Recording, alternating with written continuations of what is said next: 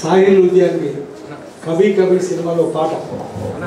ముస్సే బెహతర్ కహనే వాలే తుమ్సే బెహతర్ సునేవాలే నాకంటే బాగా కవితా గానం చేసేవాళ్ళు మీకంటే బాగా రసాస్వాదన చేసేవాళ్ళు ముందు ముందు వేల మంది పుట్టుకొస్తారు మీరు.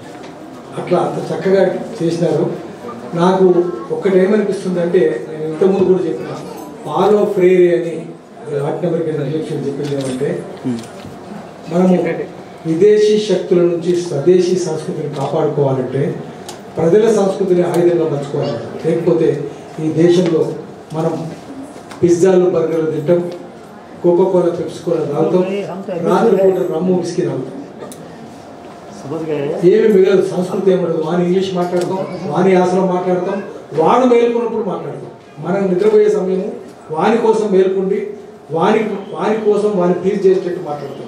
వాని కోటు వాని కోటు వాని చెప్పులు చెప్పులు వాని జీన్స్ మొత్తం విదేశీ అయిపోయినాక నాకు ఇప్పుడు ఏమనిపిస్తుందంటే ధోతి కట్టుకున్న వాళ్ళ దేశభక్తి తలకు స్కల్ క్యాప్ నమాజ్ అవ్వడానికి స్కల్ క్యాప్ పెట్టుకున్నవాడు దేశభక్తి విదేశీ ఏదైనా సరే కళ్ళు తాగినోడు దేశభక్తుడు కొబ్బరిళ్ళు తాగినోడు దేశభక్తుడు మజ్జిగ తాగినోడు దేశభక్తుడు రమ్ము విస్కి తాగినోడు విదేశీ భక్తుడు కోకా కోలా పెప్సి కోలా తాగినోడు దేశభక్తుడు ఈ బిడ్డలకి సంస్కృతి పెట్టి ఇది నేర్పిస్తూ మన సంస్కృతిని కాపాడుకుంటే అదే అసలైన దేశభక్తులు ఇప్పుడు భగత్ సింగ్లు గాంధీలు అవసరం లేదు.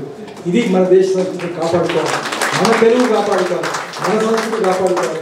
ఈ బిడ్డలే రేపు మన సంస్కృతిని కాపాడుతాం లేకపోతే మనకు డిస్కో డ్యాన్సులు వస్తాయి విస్కీలు రమ్ములు వస్తాయి. మొత్తం విదేశీ అయితే ఆ తర్వాత స్వదేశీ ఏముండదు వాడు ఎట్ట చెప్తే అట్లా సోఫియా రోబో కొట్టే కూడా అర్థం తయారు దాన్ని కాపాడుకునే దాన్ని కృషి చేస్తున్నందుకు కీర్తి ఆర్ట్స్ అకాడమీని మనస్ఫూర్తిగా అభినందిస్తున్నాను. ఈ బిడ్డలు నా మనసారా నాకు చిన్న చిన్న బిడ్డలు ఎంత చక్కగా చేస్తున్నారు ఇంతకంటే చక్కగా ఏ డ్యాన్సర్ చేయదు అంత అంత చక్కగా చేస్తున్నారు. నిజానికి ఇంత చిన్న బిడ్డలతోటి నాకు బాగా గుర్తున్నది ఏంటంటే షోలే సినిమా వచ్చింది. షోలే సినిమాను కాపీ చేసి అవే డైలాగులతో చల్ బసంతి అని అనే డైలాగులతో చిన్న పిల్లలతో సినిమా తీసినారు. రాంపూర్ కా షోలే రాంపూర్ వాళ్ళు చిన్నపిల్లలతో పది లక్షలు ఖర్చు పెడితే యాభై లక్షలు వస్తుంది ఆ ఊర్లో చూసారు రాంపూర్లో. అది చూసి ఆజంగఢ్కే షోలే.